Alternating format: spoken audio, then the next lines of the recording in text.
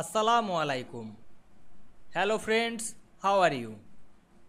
Welcome back to our new video. In this video, I am going to show you how to delete a selection pane in Microsoft Word. Let's get started. At first, we have to open a Word document and we can see here open the selection pane.